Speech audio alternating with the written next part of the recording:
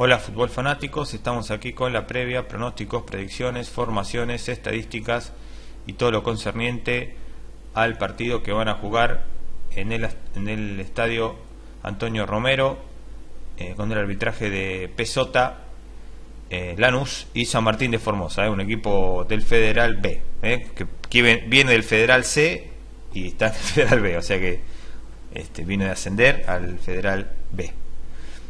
Eh, el ganador de este partido jugará con el ganador de Patronato y Villadalmine, así que, pero bueno, Lanús, un equipo que se llevó puesto a todos en el campeonato de acá de primera, eh, con un equipo realmente brillante cómo juega, este muchacho pobre de San Martín de Formosa, justo le tocó eh,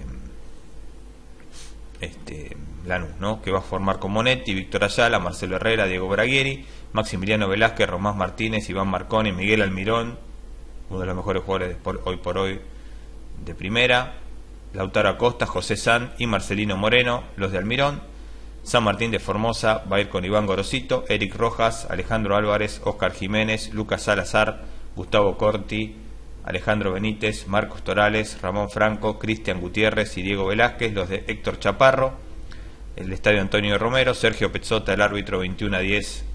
Bueno, casi se viene una goleada grosa, me parece, ¿eh? porque es un equipo, hay que ver por ahí cómo todavía está jugando Lanús en el sentido de que se está afiatando porque hace rato que no juegan, pero bueno, de más o menos a funcionar.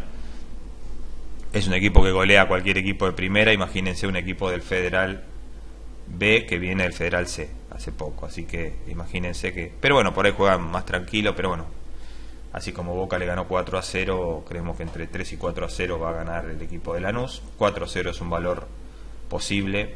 ¿eh? Lautaro Acosta, el que más posibilidades tiene de marcar. Este, porcentajes 70% para Lanús, 25% para el empate y 5% para el equipo formoseño, que bueno, va, a, ver hacer el mejor papel que pueda.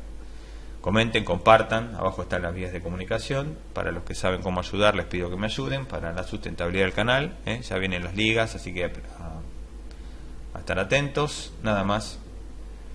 Abrazo de gol para todos.